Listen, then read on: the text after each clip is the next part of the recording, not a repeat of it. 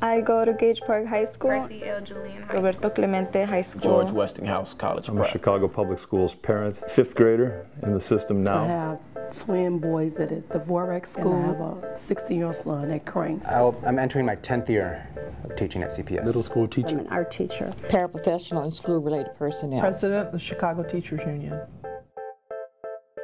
Uh, I love this, the students. Uh, they're really great. Uh, it's funny because when I meet people and we get to talking about what we do for a living, when they find out that I'm a middle school teacher, I almost always get the response, oh my God, you must have a lot of patience. And though it's true, uh, you have to have patience to teach you know, kids who are 11, 12, 13 years old. It's not as rough as it seems. The vast majority of the kids that I teach are, are wonderful and they're respectful and they're kind and they're polite. Sure, you have some kids who are a little bit more difficult than others, but, but overall, they're, they're wonderful kids. Teachers do more than just work in a classroom. They go beyond what they have to do. I think some students do look at teachers as role models because many of us don't have that role model. You know, teaching here in Chicago, you know, we work with children who have um, some very difficult lives. And, you know, what makes our tasks as educators a little challenging is trying to work through those challenges with those students with a limited resource. On the west side, I feel like the, um, the resources are not there, and everybody seems to say that um, they're getting the best education. To me, they're not, because I've had CPS education, and I know they could be better. Uh, but I've been around the city and been to enough schools where I realize that what my kids are receiving is way ahead of the curve. Uh, my kids have science labs, libraries, they've had art classes, things that uh, are hard to come by in a lot of parts of town. It's just sad. It makes me sad to think about how students are treated and how like there's this idea that like yeah we'll, we'll say you're worth it but in terms of getting the resources to let you know that you're worth it to let you know that you do have a space in society that doesn't really happen There's a, a sharp inequity in terms of the way resources are uh, allocated around the city and schools with a high concentration of poor black and brown kids are not enjoying the, the same types of things that you'll find in other parts of the city. They tell us as the parents that it's because of the cuts, and they don't have the funds, so they have to cut teachers. My kids have not had the uh, basic things uh, on a regular basis that I had when I was a kid. Uh, my soon-to-be fifth grader has not yet had a, a music class. And despite being in one of the best schools in the city of Chicago, indeed one of the best schools in the state, there's no music teacher. Students want the opportunity to be fully engaged in a way that um, supersedes any sort of bubble sheet. Um, students are by design and naturally creative. You know, so what they're gonna want, they're gonna want to see a classroom that allows for arts and music to be incorporated, um, not as this ancillary opportunity, but as an intricate part to their overall development. It- it- the art class or the music class or, or being in a play, that, that can be the reason the kid wants to come to school. You look at the research, art, music, PE, all hardwire you for science, believe it or not, and mathematics. Music is all about patterns, and so is math. Once you start recognizing patterns and you can use that for a variety of ways, then it'll make math so much easier and so much accessible to students. In addition, art allows students to express themselves. One of the things that we find that's so unfortunate is that many of our children live what we would consider unimaginable lives, and art allows them a way to express themselves. I think a lot of people like the arts, but they think it's fluff. Um, the troubled child should have this, the one who wants to be an artist should have this, but everybody else, it doesn't make sense to have it. They want people to be able to be good in math and science. They don't realize that it's not just a matter of repeating the same formulas over and over again, it's a matter of creativity, rethinking a math issue, rethinking a scientific issue. That only happens when creativity is fostered. More books. I know that sounds like really, but I would want to have more books because at Julian we didn't even have textbooks like in some classes. Well, even though I can use the textbooks uh, that were published in 1997, um, you know, it'd be fantastic to, you know, have a textbook that shows that Bill Clinton wasn't the last president. I have a friend who taught second grade for many years, never had air conditioning.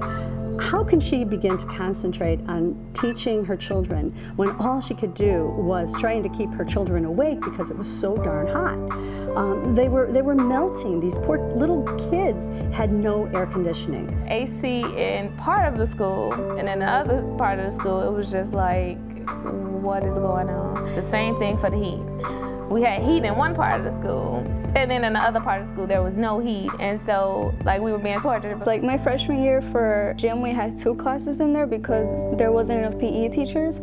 And there was about probably like, I would say, maybe 40, 50 students in that class. You get all these oversized classrooms, so it's kind of hard where see like the teacher do more discipline than teaching. When I was coming up, we had teacher assistants. So now they don't have that. When the teacher is teaching and she has uh, a classroom of more children than she should have, a teacher assistant needs to be in there. If class size is not going to be lowered, at least put a teacher assistant in there. I've had anywhere from 28 to 35 children, and it gets a little difficult. I don't know what studies people say that says it doesn't make a bit of difference when you put more children in the room. But when you have, for instance, a third of your children with special needs who need your attention, who are required legally to, to have documentation, um, to treat them individually, to pay attention to them, and now you have 35 children, and now um, there's the possibility that there could be 50 children. But we live in a, a city right now where the head of Chicago Public Schools claims that there is no correlation between reduced class size and improved educational outcomes. Now, every parent, every teacher, and indeed Mr. Emanuel and his Board of Education knows that's not the case. It, it defies logic to suggest that a teacher is going to do as good a job uh, passing information along to kids, teaching them, when they've got 32 kids in a class versus 17 or 18. And that's why the schools where the, the, the uh, folks who can do it uh, send their kids to Latin, to Parker, to the University of Chicago Lab School. They're sending their kids to schools where class sizes are 16, 17, 18, 20 kids. They, they understand.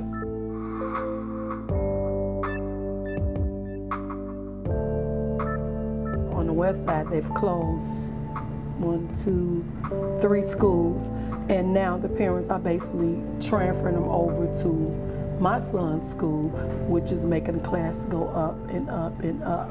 One of the problems we're seeing with this this push to just shut down schools, uh, and frequently to, to, turn them around, turn them over to folks, uh, is that it destabilizes neighborhoods. We've seen some of these schools turned over and turned over year after year. Crane High School, they wanted to um, turn it around and they wanted my son to travel over to a different territory area that would be very dangerous for him. So I was very angry about that and I didn't like it at all. I mean, it happens all the time because students have to travel a longer distance than what they would normally have to. So, you know, they come across different neighborhoods, different boundaries, different people. And of course there's conflict because people are like, this is an outsider, what are you doing here? You don't belong here. Usually, most people fear what they don't understand or what they don't know. So when different people go to different neighborhoods and no one is familiar with you, they may fear you or they may have a certain feeling that they can't explain. From not being able to explain this feeling is a possibility it could lead to violence. Well, I was originally supposed to be placed at Julian High School, but my counselor sent my information to Fenger High School because that's my neighborhood. No, I didn't know him, but he was killed around the corner from my house. In reality, I noticed like the amount of violence that was going on in my neighborhood, and it could have been me because that's the route that I used to come home. I would probably be in shock if my school closed down tomorrow. And I believe that when a school is closed down, it can make somebody feel like you're giving up on them. Like you feel like they're not worth the time and effort. Nobody wants to feel that way because if nobody has faith in you, sometimes you don't know how to have faith in yourself. Chicago Teachers Union is taking a righteous stance. Um, and I say that because, just quite frankly, as uh, a black teacher, knowing that the idea of public education was birthed out of my ancestors, and to think that now the very folks that conceived the idea of public education is now being denied. Um, that is an affront uh, to, to who we are. They only focus on students who they think will succeed in the world. Like, I don't think that's right because, like, just because I'm, I come, I come from a poor family doesn't mean I don't have what it takes to become successful. You know, the Board of Education uh, is composed of people with lots of money and people that don't have backgrounds in education. So yes, I question what their motives are. I hate to be negative, but I feel that the board is run by corporations. That the that the mayor, that the Board of Education are thinking only about money and who can get money because we have to still put money toward education. We, we know that that's part of an, a huge budget. But it seems like the, the corporations want their cut. And so if you have charter schools, for instance, you can be assured that corporations are going to get their cut. And because there's no oversight, like a local school council, there's no way to ensure that the, the money is going toward the children, toward the program, to the children in the classrooms, that there isn't going to be enough textbooks. There's no oversight. So where is all, who's, what, where is the oversight for all the public money that's being spent toward education? That's the question. I think they're fighting to uh, slash payroll. And I think this isn't just happening in Chicago. A push for charter schools, let's not forget, is a push for a cheaper labor force because the vast majority of charter schools in Chicago are not unionized. The vast majority of charter schools in Chicago have a high turnover rate, which means the teachers they're cycling in are younger, cheaper teachers. So if we can increase the number of charters around the city, we're going to reduce the, the cost of, of teachers. So in a time when we are looking to slash line items, uh, in, increasing charters, uh, role in Chicago education uh, is, is one way to do it. Well, there's no doubt about it that we're standing for children because the schools that Chicago's children deserve are not what we have right now. And we all agree with that. But the key is that when we come together as parents, communities, students, and teachers, paraprofessionals, and clinicians, then we can get a lot of good work done. You may find a teacher assistant or school clerk or SCR or guidance counselor who's been at this school 25 years. I, I just cannot see a school operating without any uh, support staff like paraprofessionals. So what we want to do is show what are wonderful things that could be happening that aren't and the things that are good, we need to really focus on that and, and actually pull those out as best practices. So the keys are we have quite a few schools that are doing extremely well, even neighborhood schools that people have sort of neglected over the years. People have found a way, but they also have very, very strong local school councils, which means parents are involved, teachers are involved, communities are involved, paraprofessionals are involved. And until we understand that all of Chicago benefits from a strong public school system, then people who have not been involved to this point need to really step up. I would like to see, you know, a system that's inclusive to families, communities, and most of all, of course, our children, that allows those voices to dictate ultimately uh, what, what they need.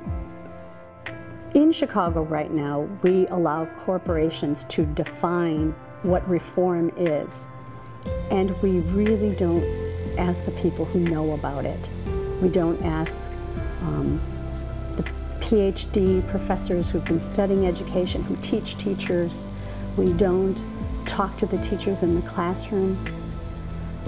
But I think we can do this because I think we're at this cusp right now where we are making a change, where finally people are beginning to realize how important the arts are in school. And I'm not saying this just because I'm an art teacher. I'm saying this because we have to look at our children as whole human beings. Could you imagine a world where, you know, students could be properly assessed based on their talents? Um, art and music and physical education really being used as a way to champion a child's full development. I, I think it would be beneficial for the mayor when he decides to roll out a new program for Chicago public school kids to ask whether this is something that would fly at the University of Chicago Lab School where he sends his kid. Is this the type of reform that parents at the lab school would accept? And I think if he uses that uh, as a litmus test, he's going to find that a lot of what he's suggesting isn't going to fly, isn't going to pass muster. If he could just put himself in the place of my sons and what they're doing today versus to his upbringing. My mom, my dad took it like the toolbox. Whether we need all the tools that's in the box, it really don't matter. They sell it as a set. So to me, whether they need the tools, I think they should give them all the tools of life so that they can go out there. If they should need them, they will have. Better to have and don't need it than to need it and don't have it. And to me, I don't think our children have the right tools. And I think they should. So that's what I have to say to. Amen.